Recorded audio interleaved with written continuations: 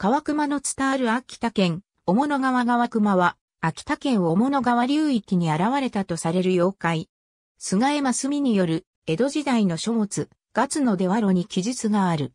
漁師が、小物川で漁をしていた最中に、川の中から真っ黒な毛だらけの手が現れ、殿様の鉄砲を奪った。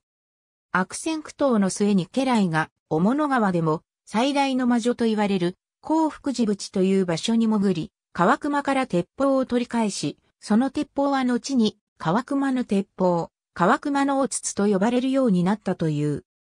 また別の話では、ある船頭が、小物川の岸に船をつけたところ、水音とともに何者かが船の縁に手をかけたので、驚いて、ナタで切り落としたところ、それは猫の前足のようなものであり、小物川下流の川辺郡、川添村椿川で川熊の手として残されたという。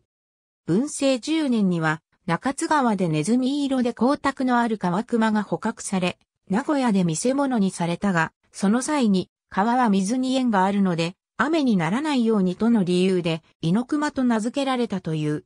信濃川では、これと同発音の川熊なる妖怪が包みを切って、大水をもたらすといい、あの土手が潰れたのは川熊の仕業だなどというそうである。